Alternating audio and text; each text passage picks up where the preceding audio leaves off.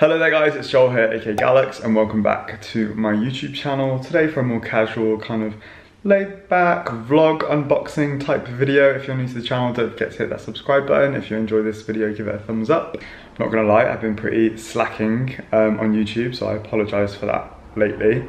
Um, basically, while stuff's just being renovated in the house, it's not the best environment to like create videos in. And even though I'm still not in my office, I, I just really wanted to get this kind of review unboxing up because keep, people keep messaging me about it on Instagram.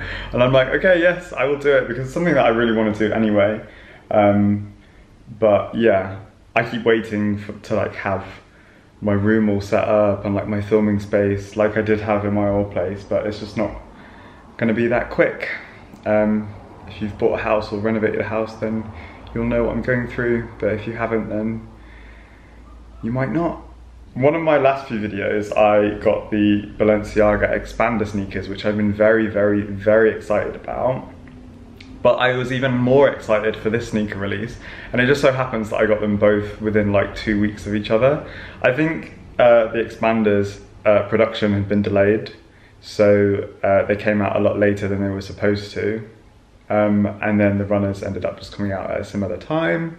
But it was a bit weird, like the release of the runners, but we'll go into that in a second. If you don't follow me on Instagram, you can check it out. It's at Gallucks, and I post outfits nearly every single day. And I posted a few outfit pics in the runners already. I'm filming in the lounge today, so you have to forgive me if it's a little bit echoey. And I went to my uh, friend's wedding yesterday, so I'm a little fragile today, and my voice might sound a bit deeper. It's quite sexy, so I feel like my YouTube channel is very chaotic right now and it's just a reflection of my life at the moment. So it is what it is and it's just gonna have to be that.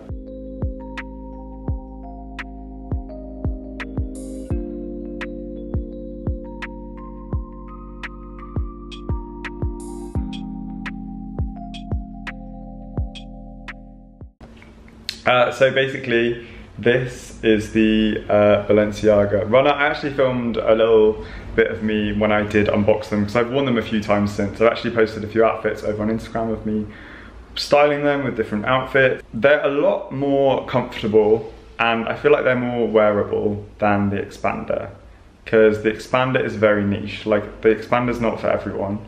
Um, but I feel like this is more for everyone. So I feel like the runners are a mix of like track, triple S, like a lot of different uh, sneakers. They also, people are comparing them to Asics or Asics, however you want to say them. And I do get like the design on the top does look very much like that. But then again, also they uh, remind me a bit of the Margiela Fusion sneakers, if that is their name. Cause these do look like they've been like ripped up and like chopped up, deconstructed and then put back together. And there's like large bits of obvious like glue, but it's intended. So that's why it reminds me of the Margiela ones. I also like that they're heavily distressed. And mine are actually a lot more distressed than the ones on the website. Because when you look online, the white ones look kind of like pure white. But then when you get, when you order them or when you see them in store, because I've seen them in a few different Balenciaga stores already, they've got a lot of like distressing per pair. Like it's all individual, which is really, really nice. Um, I like how distressed they look anyway. Everyone knows that I have dirty tracks because everyone's like clean your sneakers and it's like that's how I like them and now they already come like that so that's perfect. Um, I also like how they have like handwritten numbers so like the size on the front 42. Um, it says it on the back as well but it's more like it's not doesn't look like it's been written with a sharpie. Um, and they've got that new kind of like Balenciaga logo on the tongue here as well. Um, some people say that looks like two like Nike ticks like upside down but I don't think that. I think it just looks like a B, but without part of the B, if you know what I mean. These are quite pricey. They're cheaper than the expanders. The expanders around what, like 900 and something, whereas these were like 700 and something. it's not a lot cheaper, but um, it is cheaper than the expanders. So the first time we saw these sneakers as well was in the winter 21 show. Well, lookbook images because there was no shows at that time uh, when it was released. And there's actually more colorways. So at the moment we've had white, we've had like all white, we've had all black, and then we've had like the um, the like burgundy with silvery kind of. So we've had three colors uh, from the Balenciaga website. But also, prior to the Balenciaga launch, they did an exclusive launch with Kith. Um, and for the Kith exclusive, they included a little like numbered uh, piece for the, the, laces. I don't know what you call it when it's like a tag that's just for the laces. So there's nothing different about the shoe. It's the exact same shoe, exact same sneaker, but with a uh, like numbered tag on the laces, like Kith. I'll try and find a picture of it and put it here. Because I knew that these sneakers were coming, um, like I'd sp spoken to the um, the staff at Balenciaga and knew that they were coming out towards the end of the month. I knew that they were coming, so I was like, what is this Kith one? Why is it different? It's no different. I feel like if companies do exclusives with uh, brands, they should have like a special colorway or something that makes it significantly different because they ended up charging like $200 more. I think they were a thousand pounds or like a thousand dollars or even like $1,100 or something for the exact same sneaker. You would just get it a week early with a little numbered thing on the laces and it's like, that for me isn't a big enough incentive to purchase it. I'll just wait for a week and then buy it a lot cheaper without the little Kith tag because it just seemed a bit pointless to me. Um, but if you're a big fan of Kith, then I, I assume that that kind of thing would be, you know, intriguing and you might purchase it. Um, but it's kind of shady because I think that people would be like, oh, it's just an exclusive with Kith, like that's how I'm gonna have to get these sneakers. So then they buy them, and then like a couple weeks later, they're available everywhere, just without that tag, and it's like, Ugh. so yeah, but I absolutely love them. I'm glad I waited, um, and I'm glad I got them from the Balenciaga website, but my shopping assistant helped me order them. But yeah, I'm absolutely obsessed with them. They are so comfy.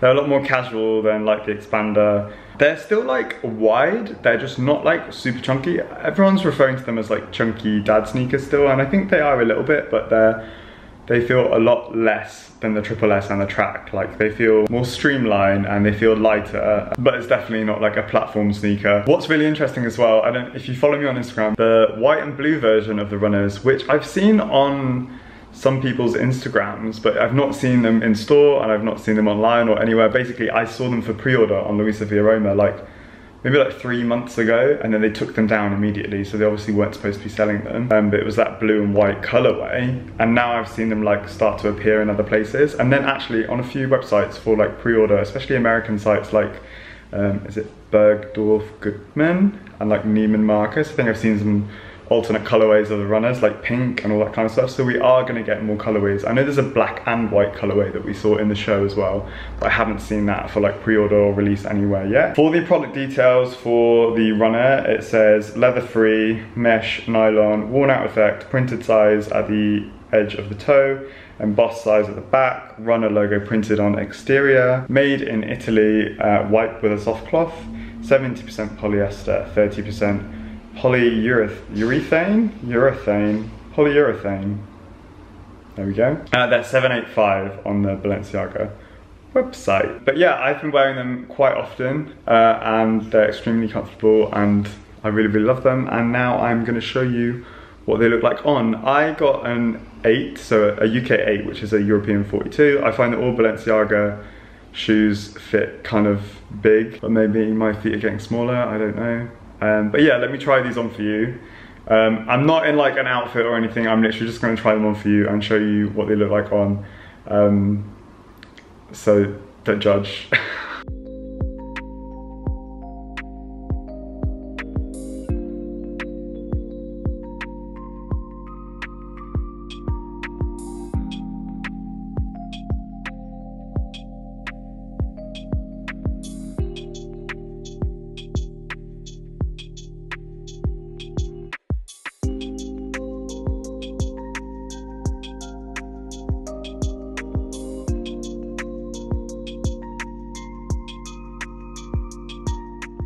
I hope you have enjoyed this chilled kind of review unboxing video of the Balenciaga 2021 runners.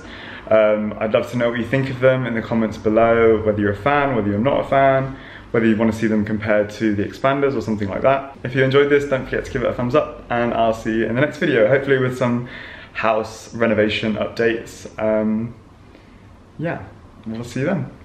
Bye.